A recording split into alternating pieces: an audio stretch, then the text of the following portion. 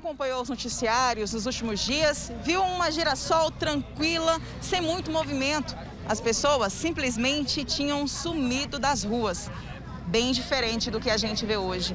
Famílias inteiras aqui na porta do QG, na porta da Escola Municipal Alto da Boa Vista. As pessoas querem falar aos policiais o quão gratas elas estão pelo acontecido. Afinal, nenhuma pessoa perdeu a vida nos últimos dias para o Lázaro e isso é motivo de muita alegria para a população.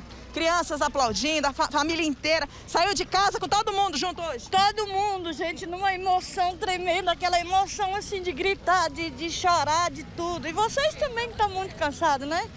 Então, é isso é uma felicidade que você poder voltar à vida normal. Isso vai ser bom. O que a senhora quer fazer agora em diante? Ah, eu nem sei. A emoção é. A senhora estava trancada em casa? Trancada, tendo pesadelo, a gente não dormia. Eu tive vários pesadelos com esse homem. É, é, é criança. É, e a gente sai na rua para resolver as coisas com medo. A senhora tá chorando? Estou chorando de emoção, de, de felicidade mesmo. Foi sufocante, viu?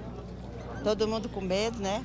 Agora a gente tá tranquilo, só comemorar, né? É verdade que o povo tava tendo visão, tendo pesadelo. Ah, é assim que o cachorro late, a gente fica louca, já fica olhando quem é, mas graças a Deus, Deus é, abençoe. É muito tranquila a cidade, né? É, a gente, eu vim morar aqui faz uns seis meses, eu acho, que é muito não tranquilo. Não esperava por isso? É, não esperava não. E agora vai fazer o quê? Agora a gente, hoje é aniversário do meu marido, nós vamos festejar, né? E a barraca da Record, hoje ela deu espaço para os moradores que saíram de suas casas, todo mundo. Me conta uma coisa, o que é que passa no coraçãozinho da senhora neste momento? Minha filha, só alegria, né? Porque ontem eu vim, já saí da, da, chácara, vim com tudo, com medo, cheguei, vim de pé, minha filha, meio-dia.